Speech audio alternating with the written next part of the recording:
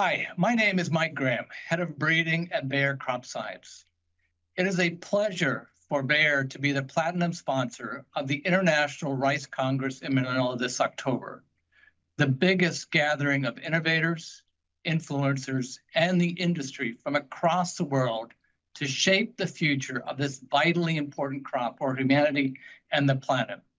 Rice is a staple food for more than half of the world's population, who depend on it as their main source of daily nutrition. And it is a key to Bayer's vision of health for all, hunger for none. And we believe there has never been a more pressing time for rice growers and all of those involved in the food chain to come together and collaborate.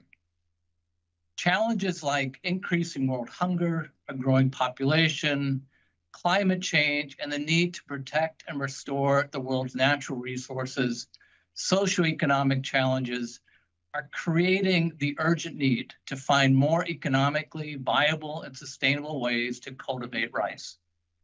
For that reason, this year's Congress theme is particularly fitting and important. Together, we have a role and a responsibility to help accelerate this transformation. At Bayer, we believe this transformation needs to be based on the principles of regenerative agriculture the ability to improve farm productivity and incomes while delivering benefits for nature. And that will only be achieved through the creation of entire systems of agricultural solutions.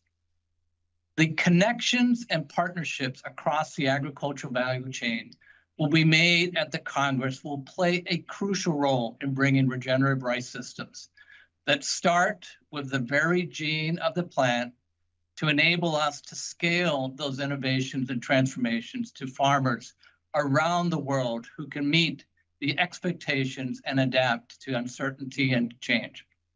On behalf of Team Bayer, we look forward to you joining us there.